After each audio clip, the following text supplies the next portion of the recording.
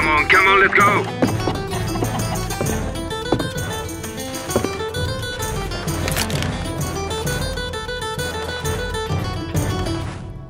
So, if you want a different looking bomb code, for example this one, Bomb has been planted. I'm planted. or perhaps this one, or even your favorite player names.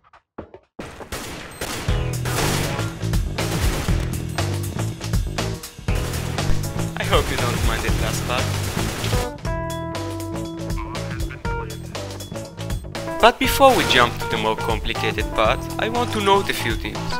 This trick does work with third person and diffusing, but you are the only one being able to see that, meaning this is fully client-sided and you won't get banned. There are two options. The first option is to download a ready code pack and choose one you like. The second option is more advanced and will teach you how to edit the code on your own.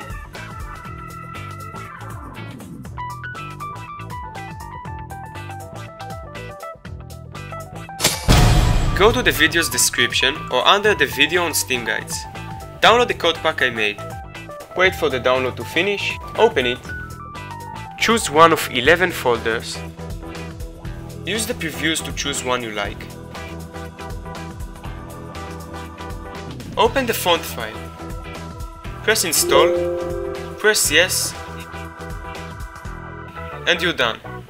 And if you're not happy with it, you can always download the backup in the description. To edit the code on your own, go to the video's description and download FontForge. When the download is ready, open the file and install the software.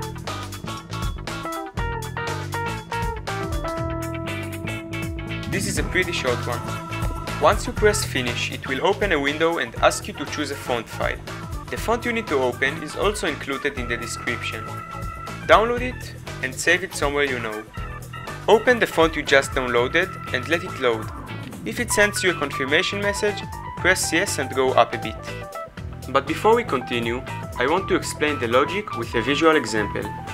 Counter-Strike's bomb code is 7355608. What I want to do is to replace the numbers with a word.